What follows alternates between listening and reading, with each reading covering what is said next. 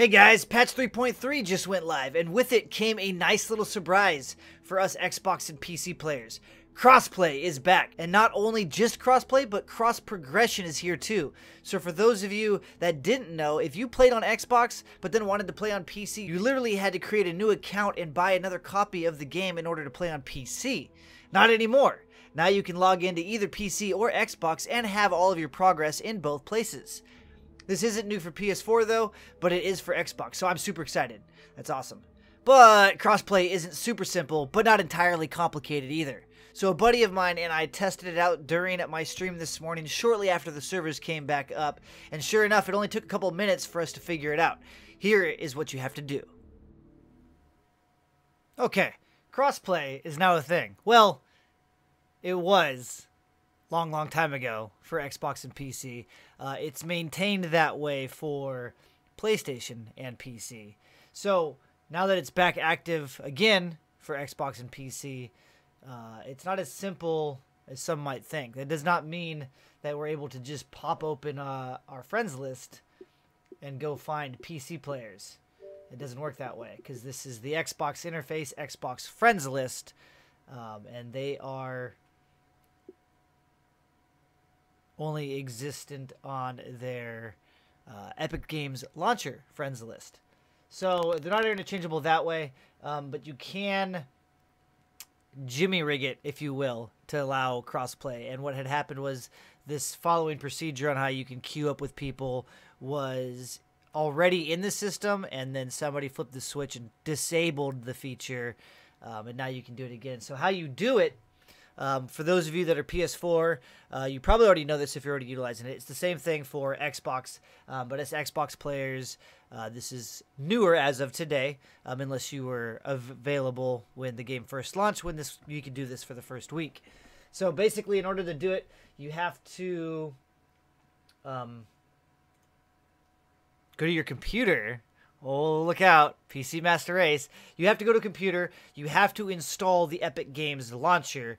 Um, and then from there, I don't know if you necessarily have to install Fortnite or not. That's not necessarily relevant because um, you're not booting the game up. But you have to have your account um, logged into the launcher. And then you want to go to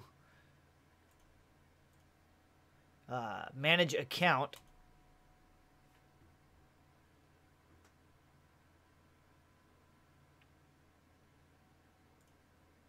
And then, boom, brings you to the web page here with your personal info, your payment, all of your stuff for Epic, right? Um, you want to make sure that your whether your PlayStation or your Xbox, you want to link the two. So I've got my Xbox gamer tag or profile or account linked to my Epic Games account. Um, so remember, my Xbox gamer tag is Gumbi, whereas my Epic Games name is Sly Gumbi. Um, also, you can link your Twitch account. There was a time, and I think they are coming back, but they had Twitch quests. I know this is off topic, but basically, a broadcaster could link their Twitch account, and then as they're playing and completing their broadcaster quest, once they finished it, it would then shoot out Twitch quests to all the viewers in chat that were um, also had their stuff linked. So you could get for a while there, you could get tickets. Then they nerfed it to where you could only get mini llamas. Um, subscribers also get bonus quests as well. Um, but I think that's been that's been nerfed as well. But for it, regardless, right now it's disabled. Um, hopefully they'll they'll bring the Twitch quests back. That was a cool feature. So, anyways, once you get all this done, um, you have to make sure the next step that you, as an Xbox player, um, have who you want to play with added. So, for instance, we'll just pick on Frozen Squall here. He is a PC Master Race. That is it. He doesn't play on console. Um, he hangs out in chat he and I tested this after the servers went up live this morning, and we got it to work. So basically, he's on my friends list. We had to accept each other's friend request, and then from there, let's see, is there any example that I can show you here? I don't have any. There isn't one. But basically, he can find on his friends list my name. It'll be Sly Gumbi, um, and then he can click on it, and uh, there'll be a Oh, I don't have the game booted up. There'll be a join button, and that's what they removed. There'll be a join. I can't shoot them invites. Let's go back to the game. I can't shoot them invites from from the Xbox because I'm invite system on Xbox is through the Xbox app, um, which is not synced to the Epic Games launcher. So I have to literally sit here and make sure my privacy settings is to public or friends. And then he can go to his friends list, click join, and it populates into my match. And then you can switch party lead depending. So if he's a higher level and we want to do some of his missions, I can toss him party lead once he's in my in-game party. And then we can play. The only thing that we don't know how to do, uh, that we, we racked our brains around is PlayStation and Xbox. Since there's no, the PlayStation has their own friend system and Xbox has their own friend system, there's no way to send each other direct invites. Um, and the only thing that just popped in my head just now that might be an option for playing with all three platforms together is if the PC player jumps into your lobby, you pass him lead, and then that person tries to join a PlayStation player. If it gives an option to bring party with, which I'm kind of thinking it won't, if it does allow him to bring party, then that's how you can bring everybody into one lobby. So the PC player has to pick who he's playing with, jump into that lobby, and then if we're able to play uh, with PlayStation and Xbox, then the PC player will then have to become party leader and migrate the whole party into the other remaining console's lobby. If that makes any sense. I don't know if that'll work. We'll have to test that tonight.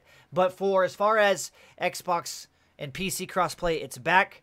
Um, you have to have the PC, the Xbox player has to have the Epic Games launcher um, so they can go in and accept friend requests because you have to be friends through the Epic Games um, before anything, and you have to have your Xbox account linked to your Epic Games profile as well. You don't need to worry about the Twitch stuff, but I recommend doing it at the same time, anyways.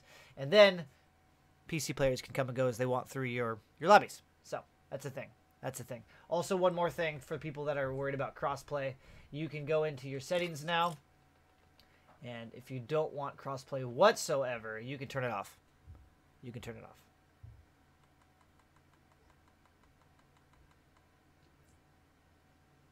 Also, I don't have a visual because I didn't pre-plan with anybody to set this demo up.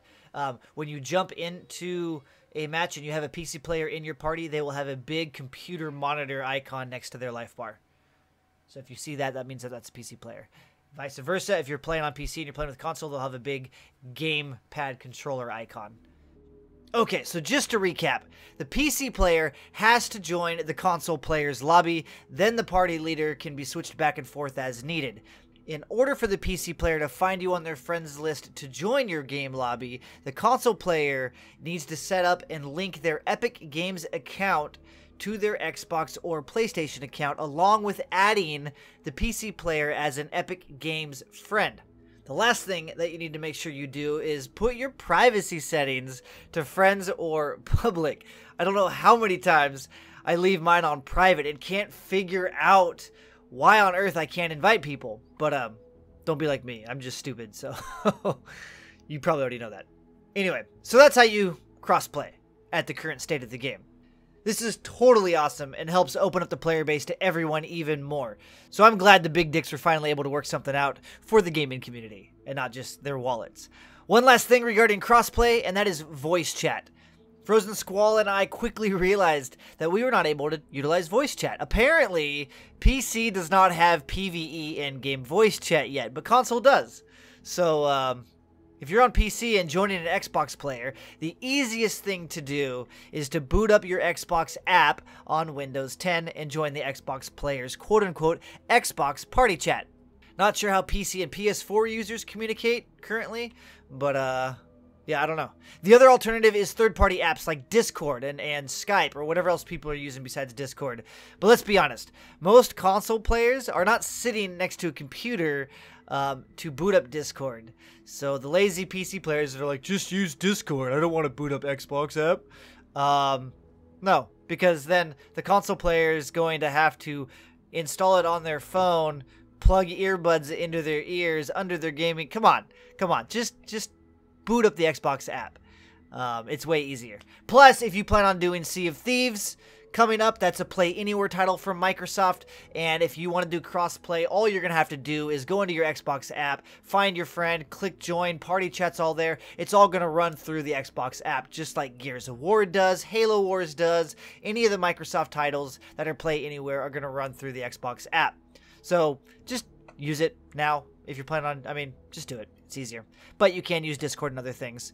So, anyway, voice chat is really the only one extra hurdle, um, and it's not even required. Technically, PC players have a keyboard so they can type super, super fast in the in game chat window if needed, uh, just so us console plebs can see the um, if they want to trade for, for any ice scars. anyway, hope this helps out for those of you who have friends on different platforms and are, and are dying to play together. If we learn of a simple way to get Xbox and PS4 players together, I'll do a follow up video for that as well. So until then, I'll see you all in the next one. Bye bye now.